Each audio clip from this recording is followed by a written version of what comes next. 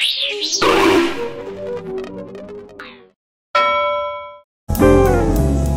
we are at the Millenium Hilton. We are going to film the elevators here. The first ones we're going to film are the low-rise elevators. They go to floor 30, I believe. So let's take a ride on these first. Here we go. Very nice Otis elevators. Alright, we'll go to 30.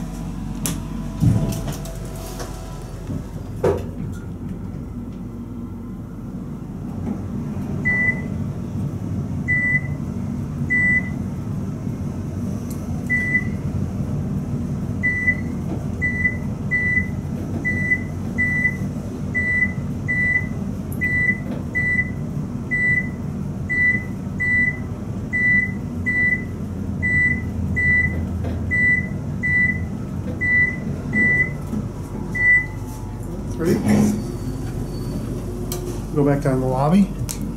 Then we're at the high-rise bank. There's our friend up there, Mr. Security. These are very nice elevators at a beautiful hotel.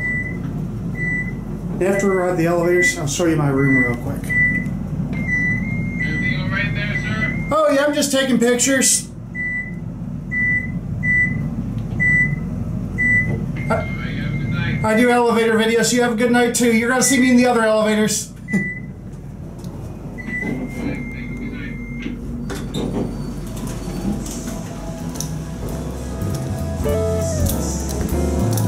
It's nice that security actually watches stuff.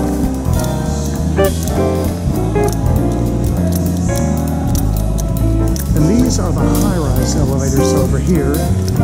We're gonna take a ride on these.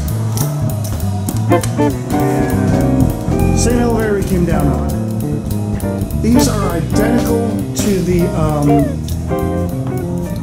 uh, low-rise elevators.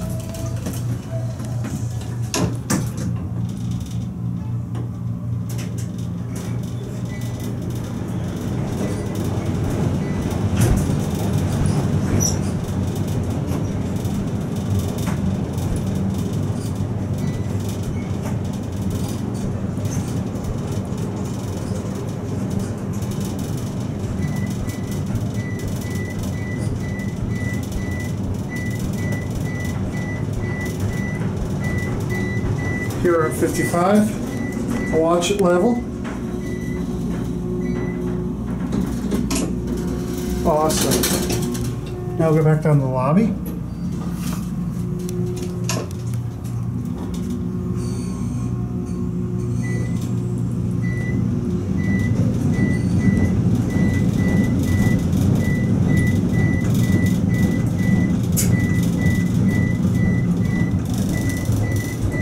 Very nice elevators. Very fast elevators. Here's your buttons.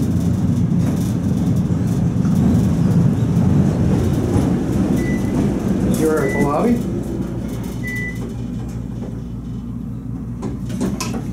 And now we'll go up to 48, which is where my room is.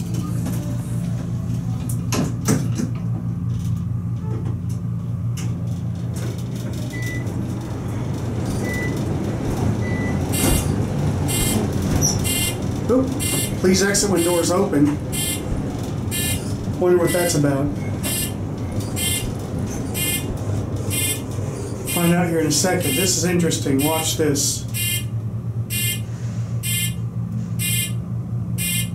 Uh, okay, the doors are not opening. Okay. Let's see here. Did I just get stuck in here? No, we're going down now.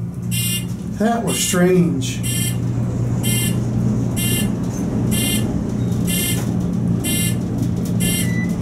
Wonder what the elevator's doing.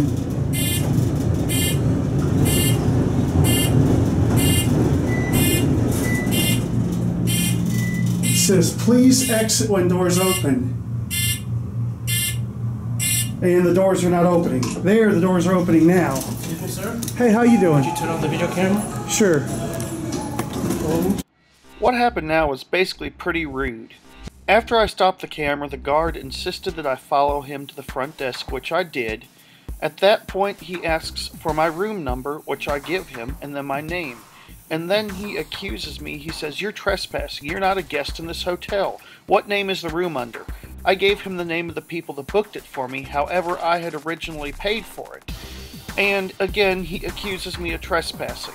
At this point, the front, de- the front desk staff clerk booms at the security guard. He's a guest here. I just checked him in. And the security guard says, Well, no, he's not. I can't find him in the computer. And then she basically yells at him, says, Let him go back to his room. He's a guest in the hotel.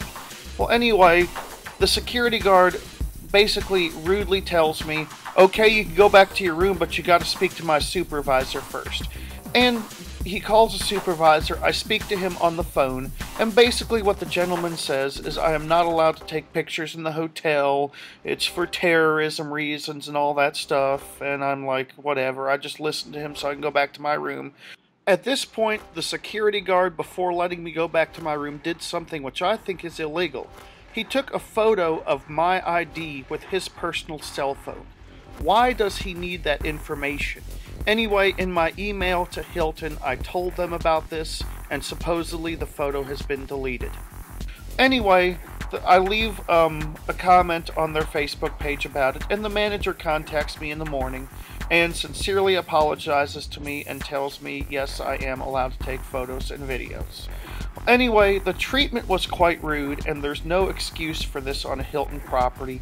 However, the manager did make it right.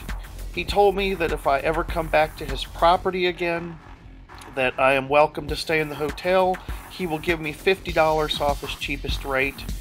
I doubt I'll go back because I have no real reason to, but just the fact that they attempted to make it right, um, like I said, as far as I'm concerned, they're okay now.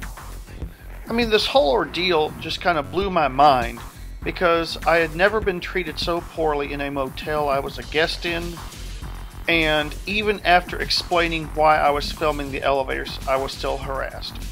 But, like I said, they apologized, they made it right, so as far as I'm concerned, it's water under the bridge.